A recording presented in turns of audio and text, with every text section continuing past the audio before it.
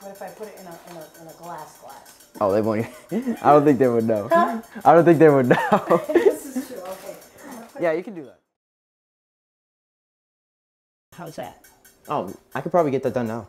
Okay. All right.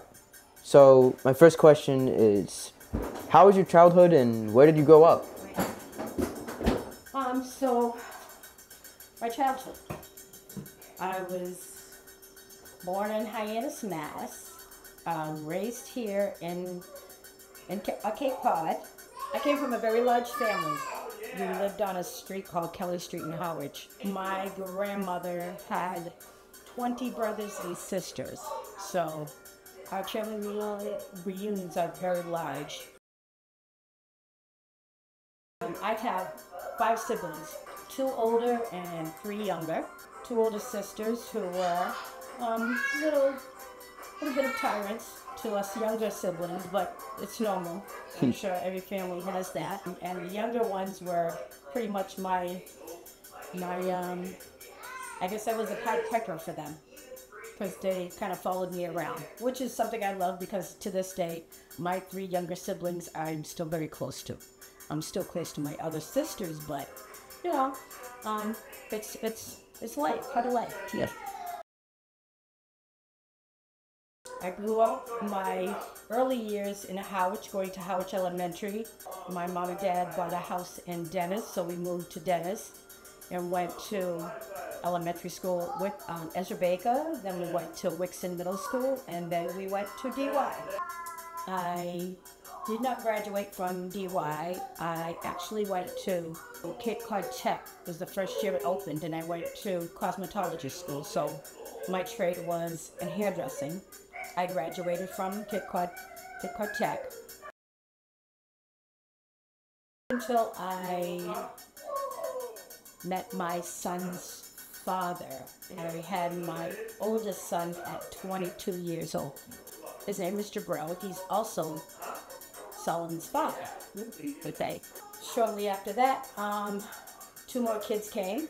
I married their father, and I had another son and a daughter. And I inherited three stepsons, which was they were my bonus children.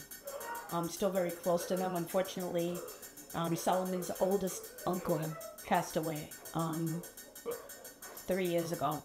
I lived in Boston for about 11, 11, 12 years and finally made my way back to Kelly Street in Harwich with my husband and my children. As far as having children, my kids are my kids are good kids. They're kids like everybody else's kids. Back in the day, they were outside. There wasn't a lot of things to do inside. There was no computers, no no laptops. Um, they had they had a great video game, Atari, which I don't know some of you probably don't remember Atari, but they had Atari, and um, eventually came um, Nintendo. But um, they were outdoor kids, played a lot of sports. They're all married and have children of their own and have successful lives, all of them. At this moment right now, I have 13 grandchildren. My first grandson is part of my older group, my three stepsons that my bonus children, and Solomon is my first biological ch- grandchild too. Okay, so he's a good kid. He's, a, he's an amazing kid. So let's see. He lived here with me when he was six months old. He moved in, and his grandfather and I, he was the apple of his eye. Okay, with our eyes. But like I said, I have 13 amazing grandkids.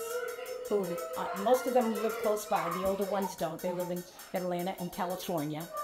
And um, Solly, and from Solly all the way down to the youngest, who's two, um, live here.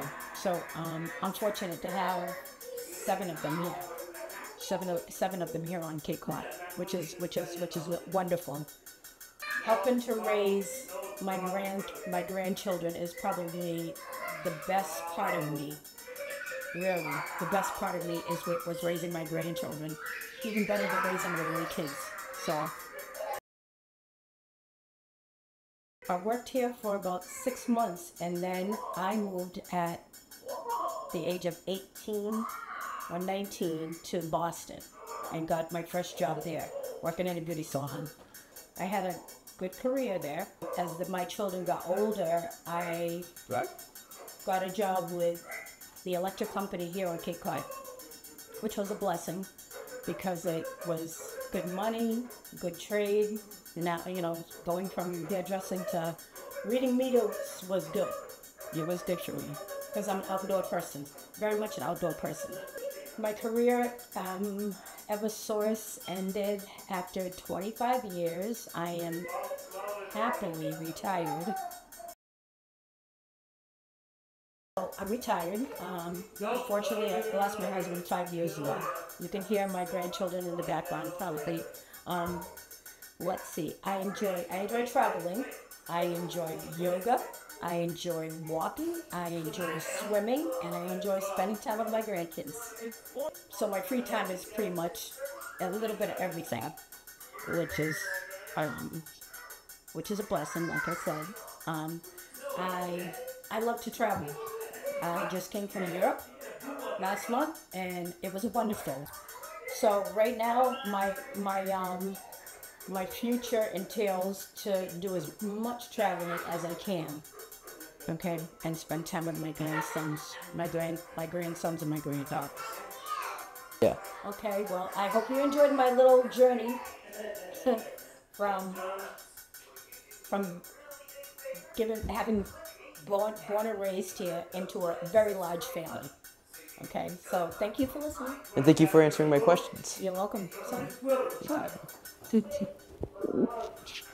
Yeah, that was good. I think I could just yeah, check it out. See if it's good. yeah, and it did record everything.